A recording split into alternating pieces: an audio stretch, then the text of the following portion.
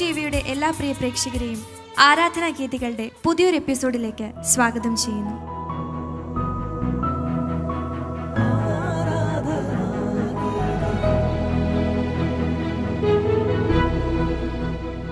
ഇന്ന് നമ്മോടൊപ്പമായിരിക്കുന്ന ആൻഡേഴ്സൺ ചേട്ടനെയും നമ്മുടെ പ്രിയ ഗായകരെയും ഈ പ്രോഗ്രാമിലേക്ക് ഞാൻ സ്വാഗതം ചെയ്യുകയാണ്. ആൻഡേഴ്സൺ ചേട്ടാ കഴിഞ്ഞ എപ്പിസോഡിൽ നമ്മൾ ദിവ്യകാരുണ്യത്തെ പറ്റിയൊരു ഗാനമാണല്ലേ പഠിച്ചത്? നമ്മൾ ദൈവത്തിന്റെ സ്നേഹത്തോട് കൂടുതൽ അടുപ്പിക്കാനും ദിവ്യകാരുണ്യത്തിന്റെ ആ ഒരു പ്രാധാന്യത്തെയൊക്കെ കൂടുതൽ മനസ്സിലാക്കാനും ഒക്കെ നമ്മളെ സഹായിക്കുന്ന വിധത്തിലുള്ള ഒരു മനോഹരമായൊരു പാട്ടായിരുന്നു അത്. നമ്മുടെ ആൻഡ്രീസയാണ് അത് ലീഡ് ചെയ്ത് പാടിയത്. ആൻഡ്രീസ നന്നായിട്ട് പാടി. അതെ വളരെ മനോഹരമായിട്ട് പാടി. ആൻഡ്രീസ് അപ്പം അങ്ങനെ ഒരു പാട്ട് ദിവ്യകാരുണ്യത്തെക്കുറിച്ചുള്ളൊരു പാട്ട് പാടാനായിട്ടൊരു വലിയൊരു ഭാഗ്യം ലഭിച്ചു അല്ലേ? അപ്പോൾ ഈ ഒരു അവസരത്തിൽ എന്താണ് തോന്നുന്നത്? ആൻഡ്രീസയുടെ ഫീലിംഗ് എന്താണ്? ഞാനിവിടെ വന്നപ്പോൾ ദിവ്യകാരുണ്യത്തെക്കുറിച്ച് പുതിയൊരു പാട്ട് പഠിച്ചാൽ കൊള്ളാം എന്നൊരു ആഗ്രഹം ഉണ്ടായിരുന്നു. ആൻഡർസൺ ചേട്ടൻ പുതിയൊരു ദിവ്യകാരൻ പുതിയതല്ല പക്ഷേ ഞാനിത് ആദ്യമായിട്ടാണ് ഇവിടെ കേൾക്കുന്നത് അത് ഈ പാട്ട് ഞങ്ങൾക്ക് പഠിപ്പിച്ചു തരുമ്പോൾ എനിക്ക് ഒത്തിരി സന്തോഷം തോന്നി. ഇനിയിപ്പം പുതിയതായിട്ട് ഈ പാട്ട് പാടി എനിക്ക് എനിക്ക് പാട്ട് പാടുന്ന ഏറ്റവും സന്തോഷം തരുന്ന കാര്യം ഈ പുതിയ പാട്ട് എനിക്ക് പുതിയതായി ഈ പാട്ട് പാടാനായിട്ട് പറ്റുമല്ലോ എന്ന് ഓർത്ത് ഒത്തിരി സന്തോഷിച്ച സമയത്ത് ചേട്ടൻ എന്നോട് ലീഡ് ചെയ്യാൻ പറഞ്ഞപ്പോൾ എനിക്ക് ഒത്തിരി സന്തോഷം തോന്നി. ഞാൻ പള്ളിയിൽ പള്ളിയിലാണ് പാട്ട് പാടി തുടങ്ങുന്നത്. ചെറുപ്പത്തിൽ പള്ളിയിൽ നിന്നാണ് പാട്ട് പാടി തുടങ്ങുന്നത്. പക്ഷെ ഒരു ടി വി ഷോയിൽ എനിക്ക് ഇതുവരെ പങ്കെടുക്കാനൊന്നും പറ്റിയിട്ടില്ല. ശാലോം ടി വിയിൽ ഇവിടെ ആരാധനാ ഗീതികൾ എന്നുള്ള പ്രോഗ്രാമിൽ തന്നെ എനിക്ക് വരാൻ സാധിച്ചതിൽ അതൊക്കെ എന്റെ സ്വപ്നങ്ങൾക്ക് അപ്പുറത്തുള്ള കാര്യമാണ്. ഞാനൊട്ടും പ്രതീക്ഷിച്ചതല്ല ഇവിടെ എത്താൻ പറ്റുമെന്ന്. അതിനെന്നെ സപ്പോർട്ട് ചെയ്യുന്ന എന്നെ എപ്പോഴും പാട്ട് പാടണം എന്ന് പറയുന്ന എന്നെ സപ്പോർട്ട് ചെയ്യുന്ന എന്റെ ഫാമിലി എന്റെ ഫ്രണ്ട്സ് എസ്പെഷ്യലി എന്റെ ഹസ്ബൻഡ് എല്ലാവരോടും ഒരുപാട് ഒരുപാട് നന്ദി. ദൈവത്തിന് എത്ര നന്ദി പറഞ്ഞാലും മതിയാവില്ല. നമ്മൾ ഒരിക്കലും പ്രതീക്ഷിക്കില്ലല്ലോ. നമുക്ക് ഇങ്ങനെ ഒരു അവസരം കിട്ടുന്നു. പക്ഷെ അപ്പോഴും നമ്മൾ ഓർക്കണം നമ്മുടെ ദൈവം നേരത്തെ അത് നിശ്ചയിച്ചിരുന്ന ഒരു കാര്യമാണ്. ഇങ്ങനെ ആരാധന ഗീതികൾ ഇവിടെ ഇവിടെ വരാനും പുതിയ പാട്ടുകളൊക്കെ പഠിക്കാനും അതോടൊപ്പം തന്നെ കഴിഞ്ഞ കുറച്ച് നാളുകളായിട്ട് നമ്മൾ മനോഹരമായ കുറേ പാട്ടുകളൊക്കെ പഠിച്ചു. അപ്പോൾ നമ്മളിത് ഈ പഠിച്ച പാട്ടുകളൊക്കെ നമ്മുടെ ഇടവകയിൽ കേൾക്കാത്തവർ കാണുമായിരിക്കും. ഈ ടി വിയിൽ നമ്മുടെ ഈ പ്രോഗ്രാം കാണുന്നുണ്ടെങ്കിലും ഈ പാട്ട് പുതുമയായിട്ട് തോന്നുന്ന ചിലരുണ്ടാവും. അപ്പോൾ അവരുടെയൊക്കെ മുമ്പിൽ പാടാനും കൂടെ നമ്മൾ ശ്രമിക്കുകയാണെങ്കിൽ കുറച്ചുകൂടെ ആൾക്കാരിലേക്ക് ഈ പാട്ട് എത്തിച്ചേരുകയും ചെയ്യും. അപ്പോൾ നമ്മൾ ഇന്ന് പുതിയൊരു പാട്ടിലേക്ക് പോവുകയാണ്. അപ്പോൾ അൻഡ്രസൻ ചേട്ടാ ഇന്ന് ഏത് പാട്ടാണ് ഞങ്ങൾ പഠിപ്പിക്കാനായിട്ട് പോകുന്നത്? ഇത് ഒരുപാട് പഴയ ഒരു ഗാനമാണ്. പലർക്കും തന്നെ അറിയാവുന്ന ഒരു ഗാനമാണ്. എന്നാലും ഇത് കേൾക്കാത്തവരുണ്ട്. നിങ്ങൾക്ക് വേണ്ടി ഞാൻ എൻ പാപ വഴിയോർത്തു ഹൃദയം നുറുങ്ങി കരഞ്ഞുപോയി. കർത്താവേ ഞാൻ അശുദ്ധനാണേ. അശുദ്ധരാം മാനുഷർക്കിടയിലാണേ വിറയാർന്നു നിൽക്കുന്നു ഞാൻ. എന്റെ പിഴയേറ്റു ചൊല്ലിടുവാൻ നുറുങ്ങിയ മനസ്സിന്റെ നൊമ്പരങ്ങൾ നീ കേൾക്കാതെ പോകരുതേ. ഒന്നു നോക്കാതെ പോകരുതേ. ഇതാണ് എന്റെ പല്ലവി. ഇത് ഈ പാട്ട് മുഴുവൻ വചനങ്ങളാണ്. ഈ പല്ലവി എന്ന് പറയുന്നത് ഏശയ്യ ആറ് അഞ്ച്. ഞാൻ അശുദ്ധമായ അധരങ്ങളുള്ളവനാണ്. അശുദ്ധമായ അധരങ്ങളുള്ളവരുടെ മധ്യേ വസിക്കുന്നവനാണ്. ആ വചനത്തിന്റെ ഭാഗങ്ങളാണ് പാട്ടായിട്ട് വന്നിരിക്കും. അപ്പോൾ ഒന്നുകൂടെ പാടാം ആദ്യം അത് തന്നെയല്ല ഈ പാട്ടിന് വലിയൊരു ചരിത്രം കൂടിയുണ്ട്. അതും ഈ പല്ലവി പഠിച്ചതിന് ശേഷം ഞാൻ വിശദീകരിക്കാം. എൻ പാപ വഴിയോർത്തു ഞാനിന്ന് ഹൃദയം നുറുങ്ങി കരഞ്ഞു പോയി പടം. പാപ പാപവഴിയോർത്തു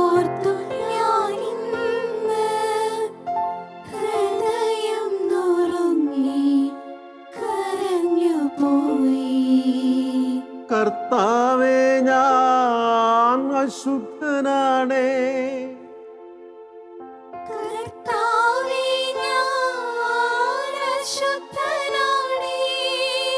അശുദ്ധരാം മാനുഷർക്കിടയിലാണേ.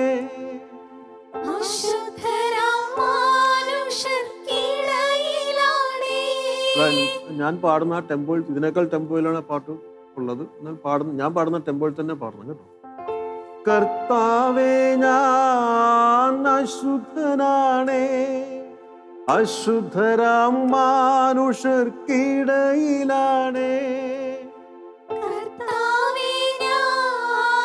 അശുദ്ധനാണേ. അശുദ്ധരാം വിറയാർന്നു നിൽക്കുന്നു ഞാൻ. എന്റെ പിഴയേറ്റു ചൊല്ലിടുവാൻ. വിറയാർന്നു നിൽക്കുന്നു ഞാൻ. എന്റെ പിഴയേറ്റു ചൊല്ലിടുവാൻ. നുറുങ്ങിയ മനസ്സിന്റെ നൊമ്പരങ്ങൾ നീ കേൾക്കാതെ പോകരുതേ. നുറുങ്ങിയ മനസ്സിന്റെ നൊമ്പരങ്ങൾ നീ കേൾക്കാതെ പോകരുതേ. ഒന്നു നോക്കാതെ പോകരുതേ. ഒന്നു ഒന്നു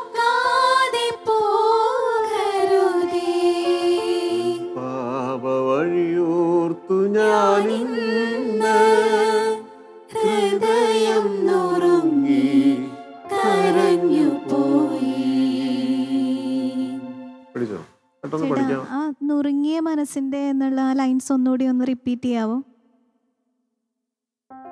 നുറുങ്ങിയ മനസ്സിന്റെ നൊമ്പരങ്ങൾ.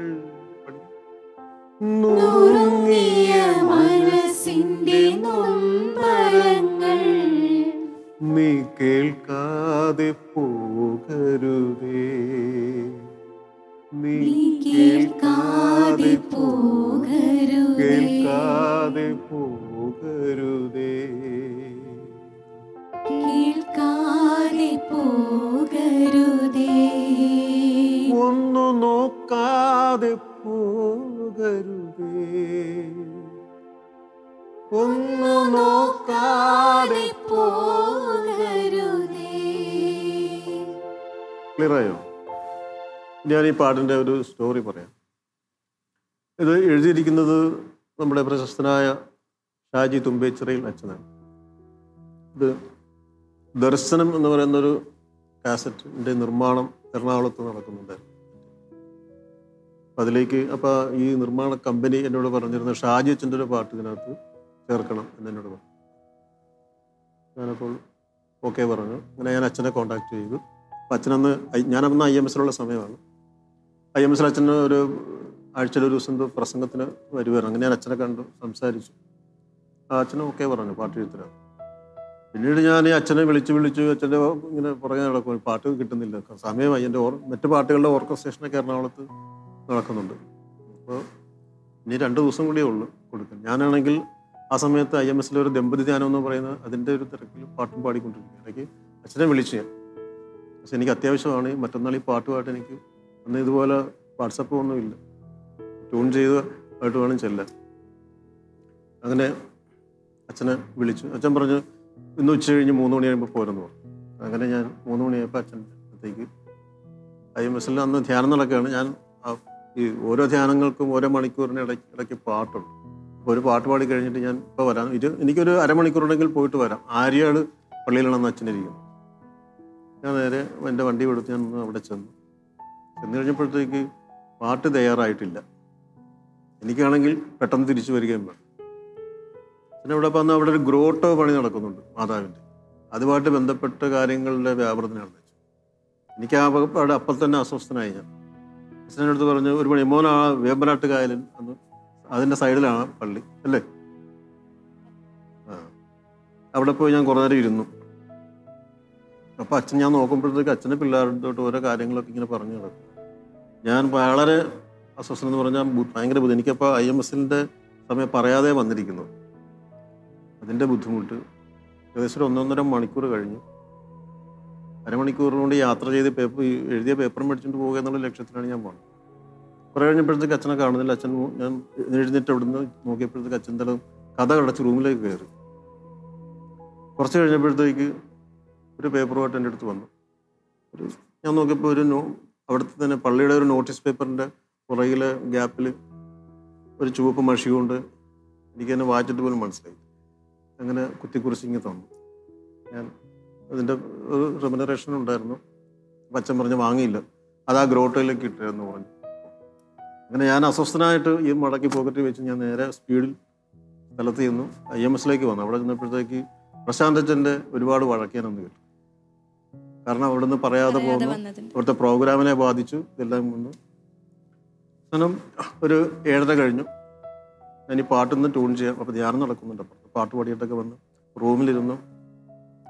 പാട്ട് ചെയ്യാനായിട്ട് ഞാൻ ഇങ്ങനെ കീബോർഡ് റൂമിലൊരു കീബോർഡ് ഉണ്ടായിരുന്നു പാട്ട് ചെയ്യാൻ. ഈ അക്ഷരം വായിച്ചെടുക്കാനോ എന്തോ അച്ഛന്റെ തിരക്ക് കൊണ്ടൊക്കെയോ എനിക്കത് പ്രത്യേകിച്ച് റെഡ് ഇങ്ക് കൊണ്ട് എഴുതിയിരുന്നതുകൊണ്ട് എനിക്ക് പിടികിട്ടി ഞാൻ പല ട്യൂൺ ചെയ്ത് നോക്കി ഒന്നും പറ്റില്ല ഞാൻ ഒത്തിരി വഴക്ക് കേട്ടു. സമയം പോയി. ഇതിന്റെ ഞാൻ ഈ പേപ്പർ ചുരുട്ടി നേരെ അവിടെ ഇരുന്ന വേസ്റ്റ് ബാസ്ക്കറ്റിലേക്ക് ഇട്ടു. അപ്പോഴവിടെ ഈ റോഡ് പണി ചെയ്യുന്ന ഒരു ആളുണ്ടായിരുന്നു. പുള്ളി ഒരു കൗൺസിലറാണ് നല്ലൊരു പ്രാസംഗികനുമാണ്. പക്ഷെ പുള്ളി പുള്ളി ടാറിങ്ങിന് പോകുന്ന ഒരാൾ ജോയി ചേട്ടനെന്ന്. ഞങ്ങൾ നല്ല അടുപ്പം അപ്പം ഞാൻ പിന്നെ വഴക്ക് കേട്ട കാര്യങ്ങളൊക്കെ അവിടെ കുറച്ച് പേരൊക്കെ അറിഞ്ഞായിരുന്നു. അപ്പോൾ എന്താ ഷാജിച്ചിന്റെ അടുത്ത് പോയി ഇങ്ങനെ പാട്ടൊക്കെ എന്താ ഈ പാട്ട്? അതേ പാട്ട് ഷാജിച്ചിന്റെ പാട്ടാണ് വേസ്റ്റ് ബോക്സിൽ കിടപ്പുണ്ട്. പുള്ളിക്കാരൻ ഷാജിച്ചിന്റെ പാട്ട് നിങ്ങൾ വേസ്റ്റ് ബോക്സിലേക്ക് എറിഞ്ഞെന്ന് പറഞ്ഞു പുള്ളി അത് പോയി എടുത്തിട്ട് വന്ന് ചുരു നിവർത്തിയ മേശപ്പുറത്ത് വെച്ച് നിവർത്തിയപ്പോഴത്തേക്ക് വീണ്ടും അത് വികൃതമായി. എന്റെ അടുത്ത് പറഞ്ഞു ഇത് നിങ്ങൾ നല്ല പുള്ളി വായിച്ചു നോക്കിയിട്ട് ഇത് ഏഷ്യ പ്രവാ പ്രവാചകന്റെ പുസ്തകത്തിൽ നിന്നുള്ള വരികളാണ്. ഇതെല്ലാം വചനങ്ങളാണ്. നിങ്ങൾ ഇത് ചെയ്യുന്നു പറഞ്ഞിട്ട് കീബോർഡിന്റെ പുറത്തോട്ട് വെച്ച്. എന്നെ നിർബന്ധമായിട്ട് ഈ പാട്ട് ചെയ്യിച്ചു ഞാനപ്പോൾ ഓർത്ത് പുള്ളിയുടെ നിർബന്ധം കൊണ്ട് ഞാൻ ഈ ചക്രവാകം എന്ന് പറയുന്ന ഒരു രാഗം വിളിച്ചു പാട്ട് ഇത് ആദ്യത്തെ പാട്ട് ഇങ്ങനെ ഞാൻ ഇങ്ങനെ മൂളിയപ്പോൾ തന്നെ പുള്ളി പറഞ്ഞത് സൂപ്പർ പാട്ട്. ഇത് ഹിറ്റാകും. എന്ന് പറഞ്ഞ് എന്നെ പ്രോത്സാഹിപ്പിച്ചു അങ്ങനെ തീർത്ത പാട്ടാണ്. അത് ഒരുപാട് സ്ഥലങ്ങളിൽ ഒരുപാട് പേർക്ക് മാനസാന്തരത്തിന് കാരണമായ ഒരു പാട്ടാണ്. പക്ഷെ അത് ചേട്ടാ അന്ന് ചുരുട്ടിക്കൂട്ടി എറിഞ്ഞെന്ന് പറഞ്ഞല്ലേ? ഒരു പക്ഷെ അന്ന് അത് ആ ഒരു രീതിയിൽ തന്നെ അങ്ങ് പോയിരുന്നെങ്കിൽ എനിക്ക് തോന്നുന്നു ഇത്രയും ഹിറ്റായിട്ടുള്ള അല്ലെങ്കിൽ മനോഹരമായ ഒരു പാട്ട് തന്നെ നമുക്ക് കിട്ടില്ലായിരുന്നു. പക്ഷെ അവിടെയും ദൈവം ദൈവത്തിന്റെ ഒരു കരുതലുണ്ടായിരുന്നു. അതെ. സങ്കീർത്തനങ്ങൾ നൂറ്റി പതിനെട്ട് ഇരുപത്തിരണ്ട്. പണിക്കാർ ഉപേക്ഷിച്ച് കളഞ്ഞ കല്ല് ഭവനത്തിന്റെ മൂലക്കല്ലായി ഭവിച്ചു എന്ന് പറയുന്ന പോലെ. അതെ. അത് ആ ചുരുട്ടി കളഞ്ഞ പാട്ട് ഒരുപാട് അന്ന് അന്നത്തെ കാലത്ത് ഒരുപാട് ഹിറ്റായിരുന്നു. എല്ലാ ധ്യാന കേന്ദ്രങ്ങളിലും പാടുന്ന ഒരു പാട്ടായിരുന്നു. പക്ഷെ എനിക്ക് തോന്നുന്നു ആ പാട്ടിന്റെ ആ ഒരു ഫ്രഷ്നെസ് അതാ അന്ന് ചെയ്ത സമയത്തുണ്ടായിരുന്ന ആ ഒരു മനോഹാരിതയോ വാക്കുകളുടെ ഒരു പ്രസക്തിയൊക്കെ ഇന്നും അത് നിലനിൽക്കുന്നുണ്ട്. അത്രയും മനോഹരമായ രീതിയിലാണ് അത് കമ്പോസ് ചെയ്തിരിക്കുന്നത്. അപ്പൊ ദൈവത്തിന് ഒരു ആത്മാവ് ഉണ്ടായിരുന്നു. പക്ഷെ എനിക്ക് തിരിച്ചറിയാൻ പറ്റില്ല. എന്റെ അസ്വസ്ഥത കൊണ്ടാണ്. പക്ഷെ കുറച്ചുകൂടെ എന്നെ അത് ആ ഒരു തീയിൽ എന്താ പറയുക അതിന് എന്നെ ഒരു ഉരുക്കി വാർക്കുകയായിരുന്നു ആ സമയത്ത്. മനസ്സിലെ അസ്വസ്ഥതകളും എല്ലാം കൂടെ ചേർത്ത് പക്ഷെ ഈ പാട്ടിനെ ദൈവം മനോഹരമാക്കി.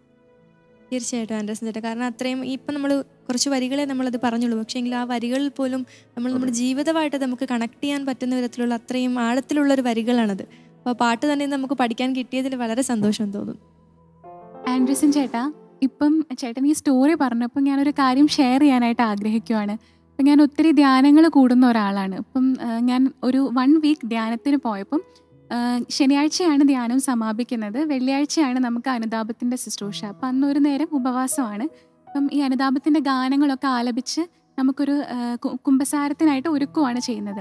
അപ്പം അവിടെ വെച്ചിട്ടാണ് ഞാൻ ഈ പാട്ട് ആദ്യമായിട്ട് കേൾക്കുന്നത്. അപ്പം കേട്ടപ്പോൾ തന്നെ എനിക്ക് ഈ പാട്ട് ഒത്തിരി ഇഷ്ടമായി. സാധാരണ ധ്യാനങ്ങളിൽ എപ്പോഴും നമ്മൾ അനുതാപ ശുശ്രൂഷയ്ക്ക് കോമൺ ആയിട്ട് കേൾക്കുന്ന ഒരു പാട്ട് പാപബോധവും പശ്ചാത്താപവും എന്നുള്ളൊരു പാട്ടാണ്. പക്ഷെ അന്ന് ആദ്യമായിട്ട് ഞാൻ ഈ പാട്ടാണ് അവിടെ കേൾക്കുന്നത്. അപ്പം അന്ന് ഈ അനിതാഭ ശുശ്രൂഷയുടെ ഇടയ്ക്ക് ഗായകൻ ഈ ഗാനം ആലപിച്ചപ്പോഴാണ് ഞാൻ ആദ്യമായിട്ട് ഈ പാട്ട് കേൾക്കുന്നത്. അതിനുശേഷം ഒരുപാട് തവണ ഈ പാട്ട് പിന്നെ കേട്ടിട്ടുണ്ടെങ്കിലും അന്ന് എനിക്ക് തോന്നിയ ഒരു ഫീലിംഗ് ഭയങ്കര ഒരു ഈ വരികളുടെ ഒരു മീനിങ്ങും അല്ലെങ്കിൽ ഭയങ്കര ഒരു ഡിഫറെന്റ് ഫീലിംഗ് ആയിരുന്നു. അപ്പം എനിക്ക് പാട്ട് കേട്ട് സത്യം പറഞ്ഞാൽ ഒരു നല്ല കുമ്പസാരത്തിന് ഒരുങ്ങാനുള്ള ഒരു മനസ്സ് കിട്ടി. ഞാനപ്പം ചുറ്റും നിന്ന് ആൾക്കാരെ നോക്കിയപ്പോൾ ഒത്തിരി പേര് ഈ പാട്ട് കേട്ട് കരയുന്നതായിട്ട് ഞാൻ കണ്ടു. അപ്പം ഇതുപോലെ ഒരു കഥ ഈ പാട്ടിന്റെ പിന്നിലുണ്ടെന്ന് ഇപ്പം അറിഞ്ഞപ്പോൾ എനിക്ക് ഒത്തിരി സന്തോഷം തോന്നുന്നു. കാരണം ചേട്ടൻ ചുരുട്ടിക്കളഞ്ഞ് ഒരു ഒരുപക്ഷെ ഈ പാട്ട് ഉണ്ടാവില്ലായിരുന്നു. അതെ. ആ ഒരു വ്യക്തിയുടെ ഇടപെടൽ കാരണം വളരെ എന്താ ഒത്തിരി പേരെ നല്ലൊരു കുമ്പസാരത്തിലേക്ക് നയിക്കാൻ ഇടയാക്കുന്ന നല്ലൊരു ഗാനം നമുക്ക് കിട്ടി. അതിന് ദൈവത്തിന് ഒത്തിരി നന്ദി പറയുന്നു. ഈ പാട്ടിനെ കുറിച്ച് ഓർത്താലും ഞാൻ ഈ ചോദിച്ചിട്ടുണ്ട് ചേട്ടൻ ഇല്ലായിരുന്നെങ്കിൽ ഒരുപക്ഷെ എന്ത് ഈ പാട്ട് വെളിച്ചം കാണില്ല. ചേട്ടനും വിശ്വസിക്കുന്നില്ല. ആ സമയത്ത് രാജേച്ചന്റെ ജീവൻ തുടിക്കുന്ന വരികളാണ്. വരികളാണ് അതെ. എനിക്ക് എനിക്ക് തിരിച്ചറിയാൻ പറ്റാതെ പോയത് എന്റെ പക്ഷെ ഇതിന് എല്ലാം ദൈവം ക്രമീകരിച്ചിട്ടുണ്ട്. ഇത് പുറത്ത് വരാനും ഒക്കെ ആയിട്ട് എല്ലാ കാര്യങ്ങളും ക്രമീകരിച്ചിട്ടുണ്ട്. നഷ്ടപ്പെട്ടു പോകില്ലായിരുന്നു അതെ. നമുക്കൊരു വലിയൊരു മാതൃകയാണ്. കാരണം നമ്മൾ നമ്മുടെ സാഹചര്യം മൂലം നമ്മൾ പലതും ചിലപ്പം ഉപേക്ഷിക്കുക അല്ലെങ്കിൽ വേണ്ടെന്ന് വെച്ചാലും നമുക്കത് ചെയ്യണമെന്ന് വിധിച്ചതാണെങ്കിൽ ദൈവം ഒരു വഴിയിൽ അത് നമ്മുടെ അടുത്തേക്ക് എത്തിക്കുക തന്നെ ചെയ്യും. അപ്പം നമുക്ക് ബാക്കി പഠിക്കാം അല്ലേ? എന്നിൽ നന്മ വസിക്കുന്നില്ല. നാഥ ഒരു നന്മയും ചെയ്യാൻ ആവുന്നില്ല എന്നിൽ നന്മ വസിക്കുന്നില്ല. നാഥ ഒരു നന്മയും ചെയ്യാനാവുന്നില്ല. പഴയോരോ പാപങ്ങൾ ചെയ്തു വീണ്ടും ഞാനും പിഴയാളിയായി തീർന്നു നാഥ. എന്നെ നോക്കാതെ പോകരുതേ. പാടാം. എന്നിൽ നന്മ വസിക്കുന്നില്ല. നാഥ ഒരു നന്മയും ചെയ്യാനാവുന്നില്ല. ഒന്ന് എന്നിൽ നന്മ വസിക്കുന്നില്ല. നാഥ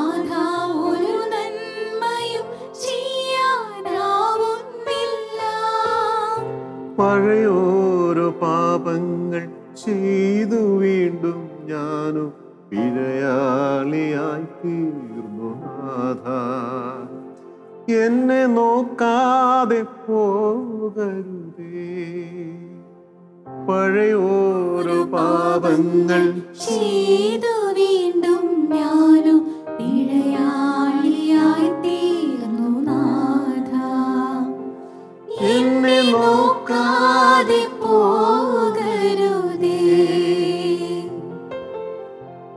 കൊടുത്തിരിക്കുന്ന ഒരു വരിയുണ്ടല്ലോ എന്റെ ചേട്ടാ പഴയ ഒരു പാപങ്ങൾ ഞാൻ വീണ്ടും വീണ്ടും ചെയ്യുന്നു എന്നുള്ളത്. നമ്മുടെ ജീവിതത്തിൽ നമുക്ക് മാറ്റി വെക്കാൻ പറ്റുന്ന അല്ലെങ്കിൽ ചെയ്യുന്നത് തെറ്റാണെന്നൊരു ബോധ്യം ഉണ്ടെങ്കിൽ പോലും ചില സാഹചര്യങ്ങൾ നമ്മളത് വീണ്ടും വീണ്ടും ചെയ്തു പോവുകയാണല്ലോ. നമുക്കറിയാം അത് തെറ്റാണ്. പക്ഷേ അത് മനസ്സിലാക്കി ആ തെറ്റ് തിരുത്തി പോകാനായിട്ട് മടി കാണിക്കുന്നവരാണ് ഇന്ന് ഭൂരിപക്ഷം ആളുകളും. അപ്പം അങ്ങനെയുള്ള സാഹചര്യത്തിൽ നമ്മൾ ചെയ്യേണ്ട കാര്യങ്ങൾ എന്തൊക്കെയാണ് നമ്മളത് ദൈവത്തിന്റെ ഒരു പശ്ചാത്താപമൊക്കെ മനസ്സിലാക്കി ഈശോയിലേക്ക് വീണ്ടും തിരിയുക എന്നുള്ളൊരു ബോധ്യം വെച്ചിട്ട് നമ്മൾ വീണ്ടും ദൈവസ്നേഹത്തിലേക്ക് അലിഞ്ഞു ചേരുക എന്നുള്ളത് തന്നെയാണ് ആ ആ പഴയൊരു എന്നുള്ള പഴയോരോ ആ വാക്കിൽ ആ പഴയൊരു പഴയോരോ എങ്ങനെ പാടിയാലും രണ്ട് രണ്ട് കാര്യങ്ങൾ അവിടെ സൂചിപ്പിക്കുന്നുണ്ട്. പഴയ ഓരോ പാപങ്ങൾ ചെയ്ത് വീണ്ടും അതായത് നമ്മൾ അനുദിനം ചെയ്യുന്ന പാപങ്ങൾ കുമ്പസാരിക്കുന്നു വീണ്ടും പാപത്തിലേക്ക് വീഴും അത് തന്നെയാണ് അവിടെ ഉദ്ദേശം പിന്നെ പഴയ ഒരു എന്ന് പാടിയാൽ നമ്മുടെ പൂർവികരായിട്ട് നമുക്ക് നമ്മുടെ ജന്മപാപം അതിലൂടെ നമുക്ക് എല്ലാം അച്ഛന്റെ ആ വാക്കിന് ഭയങ്കര അർത്ഥമാണ് അർത്ഥമുണ്ട്. അപ്പം ഇത്രയും പഠിച്ച സ്ഥിതിക്ക് എനിക്ക് ബാക്കിയുള്ള വരികൾ കൂടി പഠിക്കാനുള്ള ഒരു ആകാംക്ഷയുണ്ട്. അപ്പം നമുക്ക് പാട്ടിലേക്ക് തന്നെ പോവാം. അടുത്ത വരികൾ എന്ന് പറയുന്നത് സങ്കീർത്തനം അൻപത്തിയൊന്ന് അഞ്ച്. പാപത്തോടെയാണ് ഞാൻ പിറന്നത്. അമ്മയുടെ ഉദരത്തിലായിരുന്നപ്പോഴേ ഞാൻ പാപിയാണ്. അതാണ് അടുത്ത സ്റ്റാൻസ് എന്ന് പറയുന്നത്. പിറവി തൊട്ടെന്നിൽ പിറവി കൊണ്ട പാപപ്പിഴകളിൽ പതറുന്നു എൻ ജീവിതം. പിറവി തൊട്ടെന്നിൽ പിറവി കൊണ്ട പാപപ്പിഴകളിൽ പതറുന്നു എൻ ജീവിതം. മഴ പോലെ കാരുണ്യം തൂകിയില്ലേൽ പ്രാണൻ അഴുകിയെന്നാത്മാവ് നശിച്ചു പോകും. എന്നെ നോക്കാതെ പോകരുതേ. പിറവി തൊട്ടെന്നിൽ പിറവി കൊണ്ട് പാപപ്പിഴകളിൽ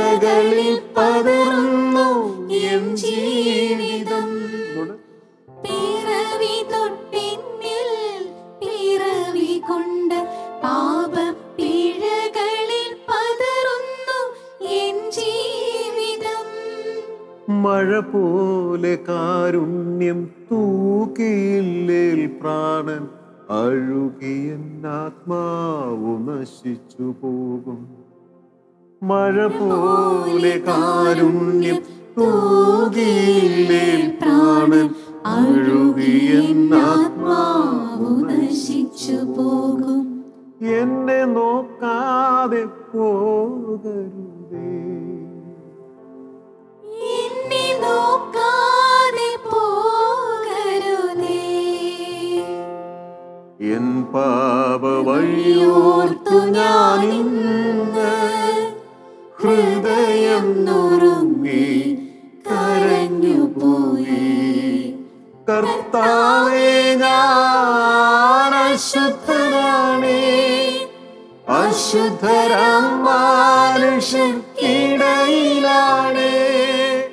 നിറയാർന്നു നിൽക്കുന്നു ഞാൻ. എന്റെ പിഴയേറ്റു ചൊല്ലിടുവാൻ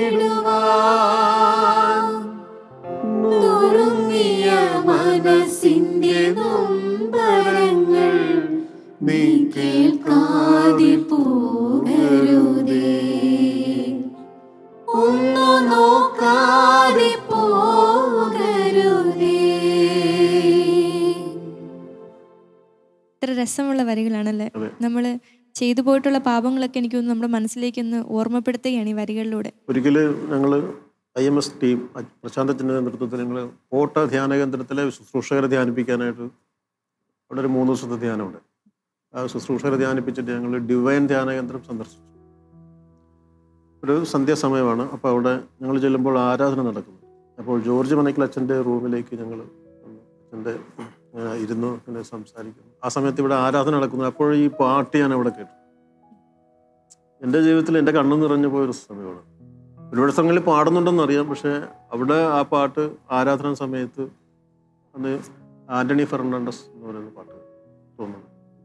അദ്ദേഹം പാടുന്നത് കേട്ടു. അപ്പോഴേക്കും അച്ഛൻ ജോർജ് അച്ഛൻ കൈ ഉയർത്തി സ്തുതിച്ചുകൊണ്ട് മാനസാന്തരത്തിന് വേണ്ടിയിട്ട് ആ സമയത്ത് ഞങ്ങളവിടെ ഇരിക്കുമ്പോൾ തന്നെ അച്ഛൻ അപ്പോൾ അവിടെ ഇരിക്കുന്ന ആ ധ്യാന ഹാളിൽ ഇരിക്കുന്ന ആൾക്കാരുടെ മാനസാന്തരത്തിന് വേണ്ടി അവിടെ ഇരുന്ന് പ്രാർത്ഥിച്ചു.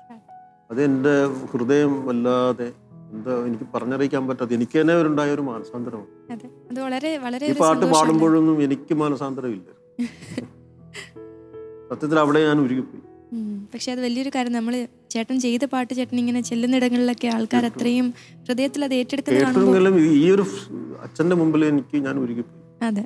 അപ്പോഴാണ് ഈ പാട്ടിന്റെ ഫീൽ എനിക്ക് ഉൾക്കൊള്ളാൻ പറ്റും അപ്പൊ ഇനി നമുക്ക് വെയിറ്റ് ചെയ്യാനാവുന്നില്ല. കാരണം അത്രയും മനോഹരമായ വരികളും പാട്ടുകളും ഒക്കെ. അപ്പൊ നമുക്ക് ഈ പാട്ട് പാടാല്ലേ പാടും. ഓക്കെ. എല്ലാവരും ചേർന്ന് പാടുകയാണ്. നമ്മൾ കഴിഞ്ഞ എപ്പിസോഡിലും പാടി നമ്മൾ എല്ലാവരും കൂടെ ഒത്തൊരുമയോട് പാടിയിട്ട് അത്. നമുക്ക് ഒരുപാട് വളരെ രസമായിരുന്നു അത് കേൾക്കാനായിട്ട്. അപ്പോൾ ഈ പാട്ട് നമുക്ക് ഒരുമിച്ച് പാടാം അല്ലേ?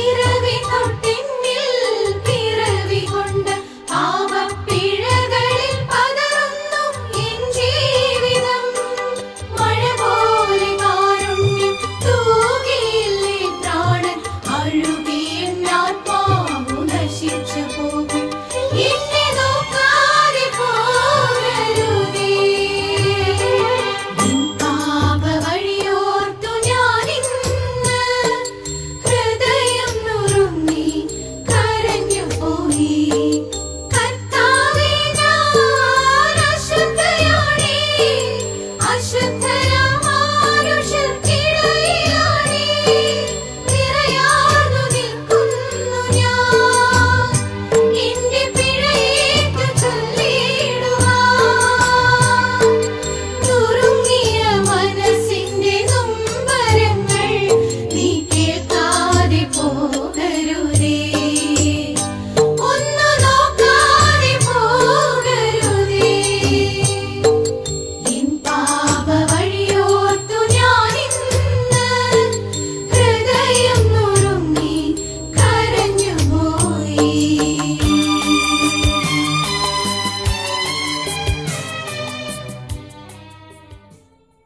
എനിക്ക് തോന്നുന്നത് നമ്മളിപ്പോൾ ഒരുമിച്ച് ഈ പാട്ട് പാടില്ല നമ്മുടെ പ്രേക്ഷകരും ഈ പാട്ട് പഠിക്കുകയും നമ്മോടൊപ്പം പാടുകയും ചെയ്തു. അപ്പം തീർച്ചയായിട്ടും അവരുടെ കണ്ണുകളൊക്കെ നിറഞ്ഞിട്ടുണ്ടാവും. കാരണം ഈ വരികളുടെ ഒരു ആഴം മനസ്സിലാക്കാൻ സാധിച്ചിട്ടുണ്ടെങ്കിൽ നമ്മുടെ ജീവിതത്തിൽ ചെയ്തു പോയ തെറ്റുകളൊക്കെ ഓരോന്നായിട്ട് മനസ്സിലേക്ക് ഓർമ്മ വരുമ്പോൾ പക്ഷെ നമ്മൾ എത്രയൊക്കെ തെറ്റ് ചെയ്താലും നമ്മൾ ചിന്തിക്കുന്ന ഒരു കാര്യമുണ്ട്. കാരണം ഈ തെറ്റുകൾക്കൊന്നും ശിക്ഷയല്ല. മറിച്ച് രണ്ട് കരങ്ങളും വിരിച്ച് നമ്മുടെ ഈശോ നമ്മെ ഈശോയുടെ അടുത്തേക്ക് വിളിക്കുകയാണ്. എത്ര തെറ്റ് ചെയ്താലും ഒരുപക്ഷെ നമുക്ക് നമ്മുടെ ഫ്രണ്ട്സ് ആയിക്കോട്ടെ അല്ലെങ്കിൽ ഫാമിലി റിലേറ്റീവ്സ് ഒക്കെ ആയിട്ടുണ്ടെങ്കിൽ എന്തെങ്കിലും പ്രശ്നങ്ങളൊക്കെ ഉണ്ടെങ്കിൽ ഒരുപക്ഷെ അവർ ആ ഒരു രീതിയിൽ നമ്മളോട് പെരുമാറാം. പക്ഷെ നമ്മുടെ ഈശോ അങ്ങനെയല്ല. ഈശോ ചെയ്യുന്നത് അതെല്ലാം മറന്ന് നമ്മളെ നെഞ്ചോട് ചേർത്ത് പിടിക്കാനായിട്ടാണ് ഈശോ കൂടുതലും ആഗ്രഹിക്കുന്നത്. അപ്പോൾ ആ ഒരു സ്നേഹം മനസ്സിലാക്കി മുമ്പോട്ട് ജീവിക്കാനായിട്ട് എല്ലാവർക്കും സാധിക്കട്ടെ. അപ്പം ഇത്രയും മനോഹരമായ ഒരു പാട്ടല്ലേ ചേട്ടാ? ചേട്ടന്റെ കമ്പോസിങ്ങും ഒക്കെ ഒത്തിരി മനോഹരമാണ്. അങ്ങനെ ഒരു പാട്ട് ഞങ്ങൾ പഠിപ്പിക്കുകയും അതോടൊപ്പം തന്നെ നമ്മുടെ ഗായകരെല്ലാം അതിമനോഹരമായിട്ട് അത് പാടുകയും ചെയ്തു. ഏവരെയും ഏറ്റവും നന്ദിയോടുകൂടി ഞാൻ ഓർക്കുകയാണ്.